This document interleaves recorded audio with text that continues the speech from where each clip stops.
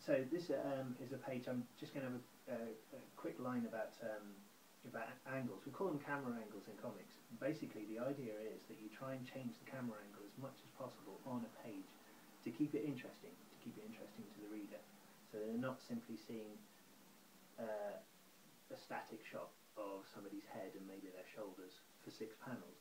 So this is an example of how I've got, um, approached that. In the top panel we have somebody being taken away by aliens. It's a very serious comic. Um, and basically, you've got a, a group of um, bishops who have just run into the room and they're trying to say, "No, you must, uh, you must stay uh, here." Now we've got somebody. Your camera is now coming down on top of people's heads, and you can see somebody reaching up, trying to grab this person as they're being taken away. Um, then in the, in the third panel, you're now changing it to have what we call a worm's eye view, so of a worm looking up and how that view would be. So now this guy's being lifted away, and we can see from sort of down around their waistlines pointing back up to the, to the principal character. Again, you can change it to take out a wider view, so now you've got the, a bit of the background of the room and all the people involved. And then on a an older rule was if you were going to include a close-up of somebody's face, you should only ever have it on one, one panel per page at any one time. So it's a rule that you can, it's a good guide. Um, occasionally it can be broken dependent on the content of the script.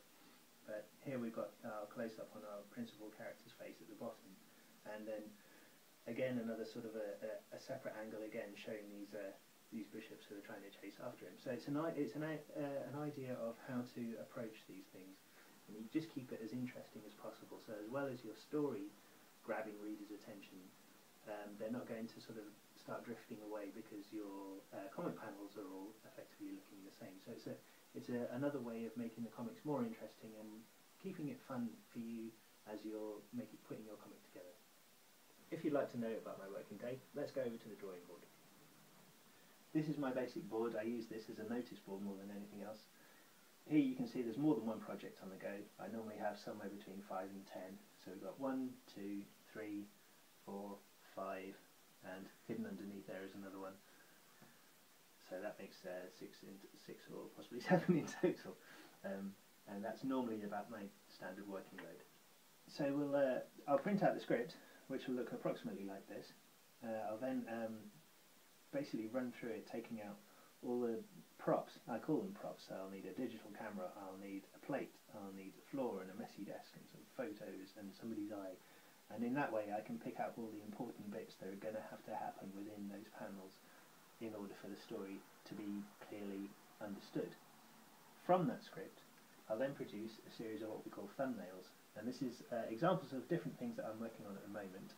And what you can basically see is um, effectively that's a comic page, and in, within that page I'll divide it up into different panels. That way I can figure out lighting, I can figure out who's going to be speaking first within each panel, because that always has to be the first person on the left.